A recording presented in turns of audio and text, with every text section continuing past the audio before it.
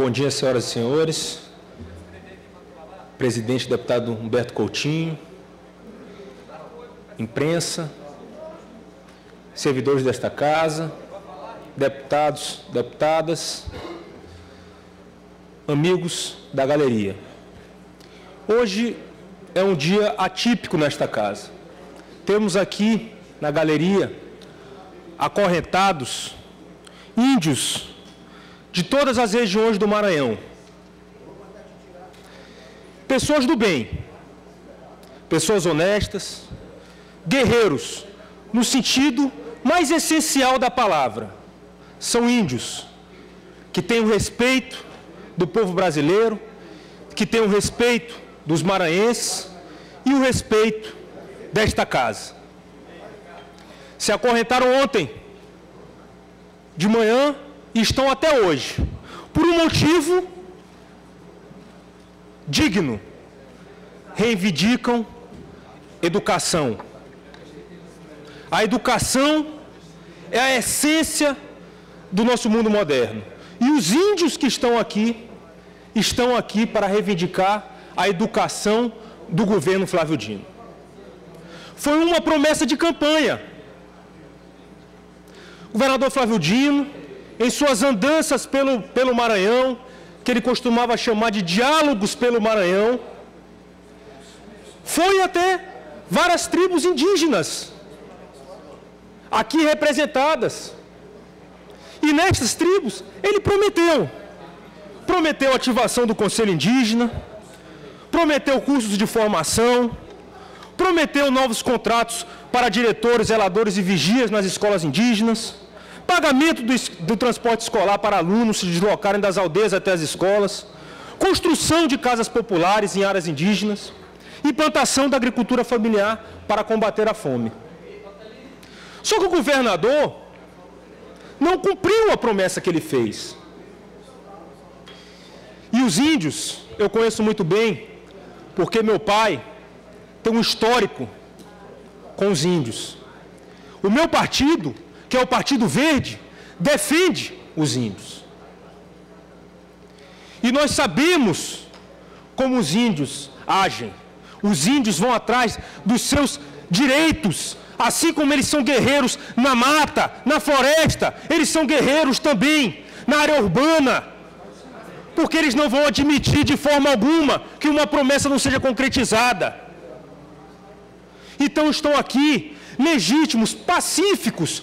Ontem chegaram a esta casa, dormiram aqui, não quebraram nada nessa casa. Não fizeram nada, não são bandidos, não são ladrões. Eles estão aqui reivindicando de forma pacífica o que eles têm direito. Um de seus, o índio Messias Porfírio Guajajara, sumiu. Precisamos acionar a Polícia Estadual, mas também a Polícia Federal, porque caso indígena é de autoridade da, da esfera federal. Então vamos entrar com um pedido, os deputados que estão tomando a frente aqui dessa solidariedade em relação aos índios, tomar a frente e vamos entrar com um pedido junto à Polícia Federal para saber o paradeiro deste índio Messias que está sumido. Vamos entrar na Polícia Federal para saber as agressões verbais, as ameaças que foram feitas aos indígenas maranhenses pelo secretário Márcio Gerri.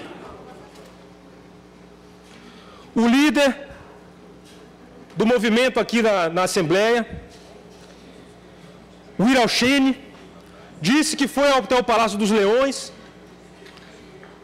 e sofreu ameaças do secretário Márcio Gerri, ameaças do secretário de Segurança Jefferson Portela.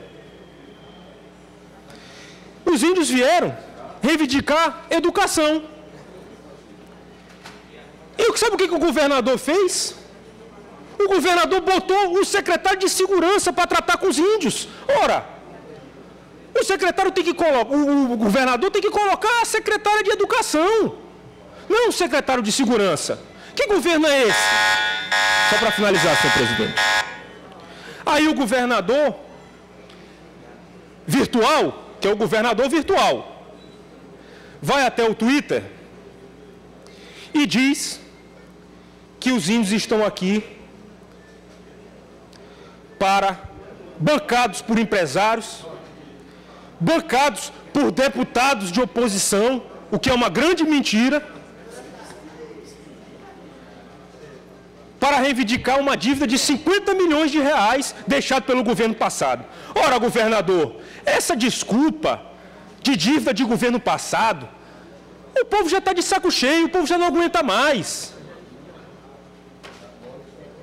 O governo atual é que fez um contrato com uma empresa no valor de 4 milhões e o empresário, a empresa atual, e nós vamos investigar isso, deputado Souza Neto. Vamos investigar isso. Diz que a empresa não tem uma bicicleta para alugar. Uma bicicleta. Então, deputados e deputadas, estou aqui com a minha voz indignada. Mais uma vez, Flávio Dino tenta desqualificar aqueles que se levantam contra ele. A oposição vem e critica o governo com legitimidade. Ele tenta desqualificar a oposição. Diz que a oposição é desqualificada e não tem legitimidade para isso. O padre critica o governo. Ele diz que o padre recebe mensalinho. Agora os índios vêm fazer uma manifestação pacífica aqui na Assembleia e na frente do Palácio dos Leões e o governador diz que é porque os índios querem dinheiro. Governador, nem todo mundo quer dinheiro. Se Vossa Excelência está vestindo a carapuça, se, se é Vossa Excelência que está atrás de dinheiro, Vossa Excelência se guarde para si. Os indígenas estão aqui atrás de educação e com legitimidade, com pacificidade. Muito obrigado a todos.